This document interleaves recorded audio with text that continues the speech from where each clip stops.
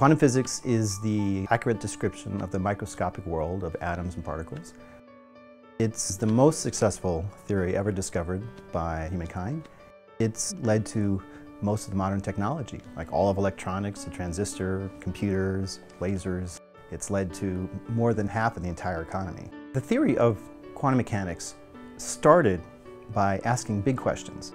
What is the nature of reality? What is the nature of locality versus non-locality? Finding new aspects of physics at the underpinnings of the whole show.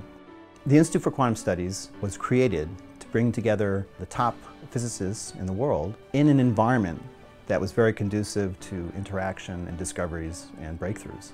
Our mission is to make progress in understanding the most difficult feature of physics today, which is the foundation of quantum mechanics. The way science progresses is through collaboration of the best minds. So what we are trying to do with the Institute is create the framework in which people can come together and spend uh, extended periods of time working together, developing ideas, and develop the kind of uh, intellectual community that is the only way in which you can actually create new ideas.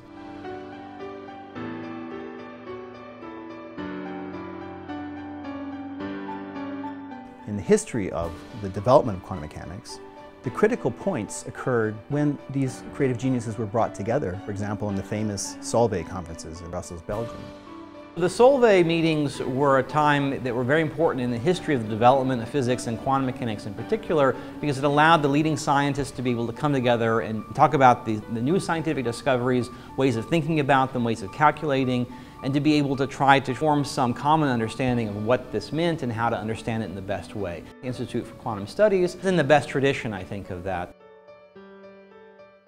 One of the most successful examples of a question that was at the foundations of quantum mechanics was the question of is nature fundamentally local or is it fundamentally non-local? In the time of Newton, classical mechanics, this was all local theory. Like when you go play pool, one billiard ball hits another one, the interaction is local. That's how we experience the world.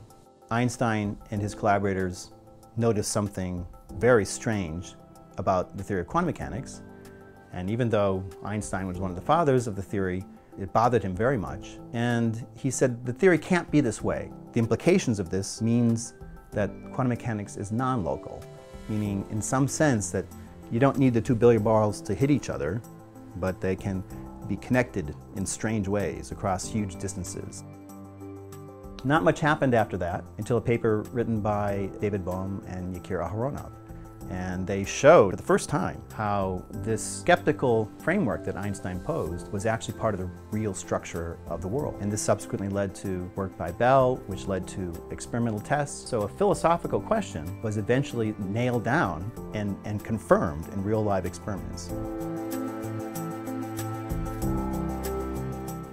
Kirit has made uh, discoveries, each one of which is a gem. One example is the Aharonov-Bohm effect.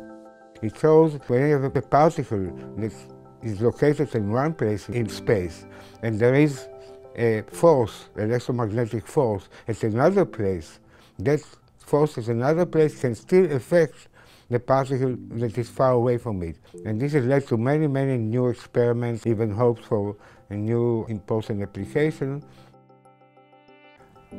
Yakir Aharonov is a creative genius of extraordinary capability. I have just watched him make huge breakthrough after huge breakthrough relentlessly. The 2009 National Medal of Science to Yakir Aharonov, Chapman University, for his contributions to the foundations of quantum physics and for drawing out unexpected implications of that field, ranging from the Aharonov-Bohm effect to the theory of weak measurement. We count now three people that won Nobel Prize, David Gross, Tony Leggett, Francois Englert. We foresee that will exist a particle that's the most important particle responsible for the masses of all the other particles, and this was discovered in CERN in 2013, and because of that he got the Nobel Prize together with Higgs. The thing that Francois is working on is exactly uh, discoveries that Yakir Aharonov made. In particular, he's looking at applying something called the weak value to trying to understand how black holes work. And so the nature of time, the new aspects of reality that come out of a weak value, applying that to the event horizon of a black hole allows you to discover all kinds of new aspects of how black holes work. The Institute for Quantum Studies is interested not only in the foundational questions, but in addition, how can we actually apply that to invent a new kind of quantum computer, to invent new ways of doing uh, communication between two different points. The Institute for Quantum Studies has a big investment in experimental physics as well. And we've built from scratch a large laboratory. We've won a lot of competitive grants from the Office for Naval Research. Part of my job as a program officer is to locate the efforts that I think represent the best value to the government in the form of doing very innovative work. That has been one of the features of the current activities here.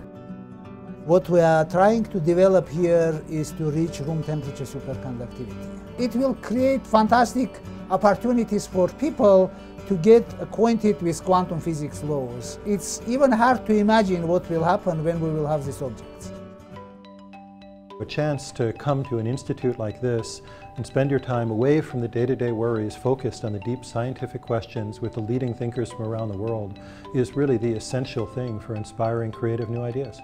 During all these meetings, we of course bring in our students. It's really very inspiring to actually watch physicists get on the whiteboard and just make a profound fundamental new discovery right there on the spot. Many of the decisions that our country is going to be called to make hinge on understanding the nature of the universe. So we offer workshops, we offer lectures, we have uh, talks for the public at large. We record all of our conferences. Physicists can watch all of those uh, talks and get right up to the, the, state of the art of the latest thinking on, on many of these very exciting areas. We started a new journal called Quantum Studies, Mathematics and Foundations. So we make this freely available. We serve as a resource by having all this world-renowned expertise here and people come just to connect with these incredible physicists and learn more and interact and collaborate.